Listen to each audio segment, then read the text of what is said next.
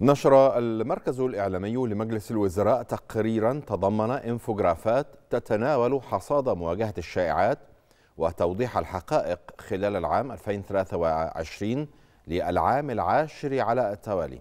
كشف التقرير أن ترتيب نسبة انتشار الشائعات خلال العام الماضي بلغت 18.8% وهي النسبة الأعلى على مدى السنوات العشر الماضية.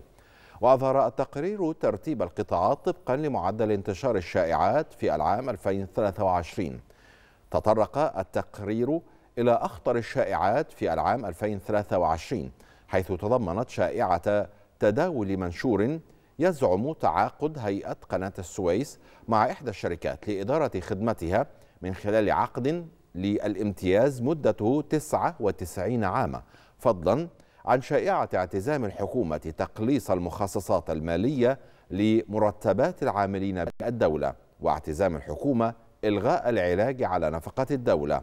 وكشف التقرير تأثير الأزمات العالمية على معدل انتشار الشائعات في مصر منذ يناير 2020 وحتى ديسمبر 2023 مشيرا إلى زيادة انتشار الشائعات أكثر من الضعفين خلال تلك الفترة نتيجة للأزمات العالمية.